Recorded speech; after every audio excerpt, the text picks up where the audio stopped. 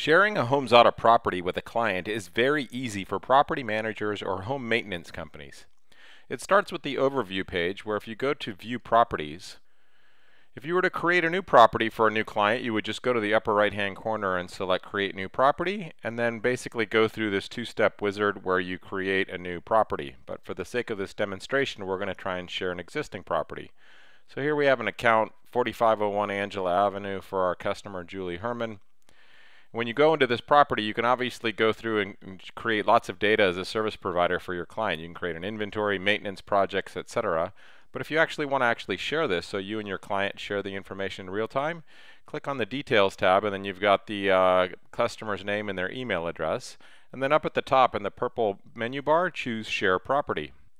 Now all you have to do is enter in the customer's email address again to confirm we've got the right email address and then scroll down to the bottom and hit Share Property with Customer. Your customer will get an email sent from HomeZada inviting them to create their own account and share that same property with you in real time. And here's what the email looks like that's being sent to your customer, where all they have to do is go to the middle of the email and click on Access My Shared Property.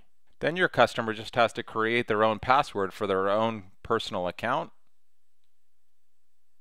and now your customer has their own HomeZada account, but the data is being shared with you in real time from your professional account so the two of you can collaborate on all the inventory maintenance and projects information.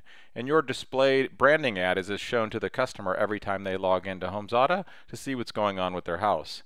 And because HomeZada can also be used on mobile and tablet devices, if, the, if your customer logs in with their mobile phone, they will actually get the mobile phone view where again they see that branding ad from you and are able to collaborate with you from a mobile device. So thanks for watching this video on how easy it is to share your property data with your clients. Thanks.